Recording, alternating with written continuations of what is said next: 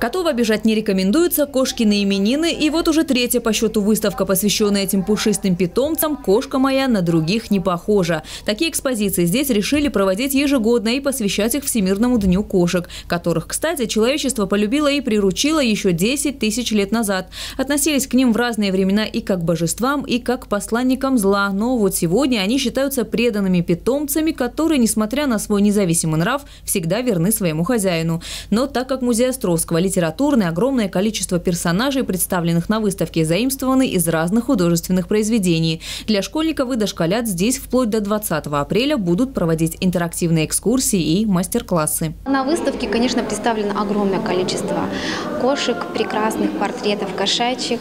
Можно сказать, даже а, здесь представлены даже кота-люди.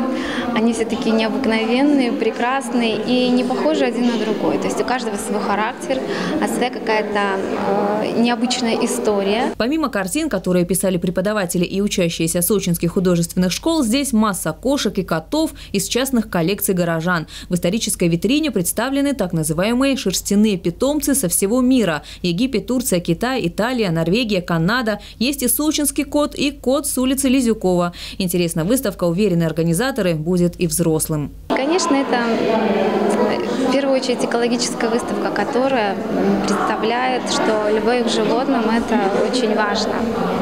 Э, есть такая замечательная фраза, наверное, очень знакома всем людям.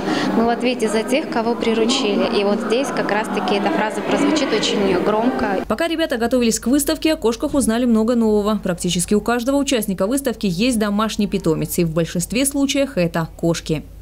Милые, пушистые, мягкие.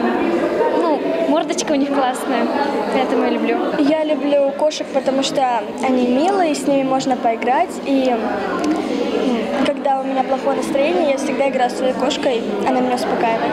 Они такие вот нежные и очень спокойные животные. Если их ну, заставить там где-нибудь посидеть, они ну, сами по себе, они не останутся на одном месте. Они вот гуляют сами по себе. Представлены в экспозиции работы народного мастера России Ирины Агаевой. Кошек она выполняет в традиционно русской технике. Это куклы-скрутки, которые в крестьянских семьях изготавливались подручного материала.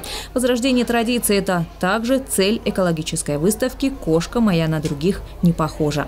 Инга Кабеша, Михаил Дубинин, телекомпания «ФКТ».